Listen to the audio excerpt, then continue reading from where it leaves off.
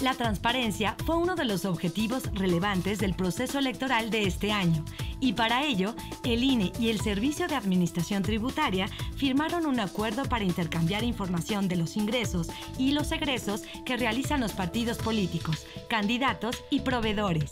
Este convenio se enmarca en las nuevas reglas del juego democrático a fin de garantizar la equidad y la transparencia de los comicios y una mayor verificación en la rendición de cuentas por parte del Estado mexicano.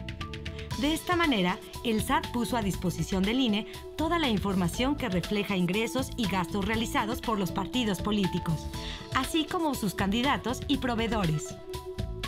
el SAT otorgó de manera proactiva toda la información requerida por el Instituto Nacional Electoral, a través de su Comisión de Fiscalización y de la Unidad Técnica de Fiscalización, con la intención de saber qué hicieron con los recursos otorgados en sus prerrogativas, cada partido político, cada organización política, cada candidato, en cada gasto y en cada ingreso que tuvieron a través de la facturación electrónica. El secreto fiscal no aplica para el INE y el SAT entregará al INE de forma proactiva toda la información. Ahora, debido a que existe la facturación electrónica y solo se podrán realizar transacciones con las empresas físicas o morales registradas, se podrán combatir algunas prácticas del pasado, en las que se presentaban facturas falsas y donde no se conocía cuál era realmente el destino del recurso.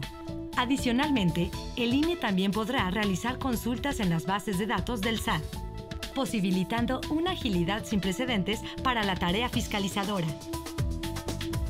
Con este mecanismo, las instituciones firmantes podremos dar cumplimiento a las exigencias de la reforma electoral,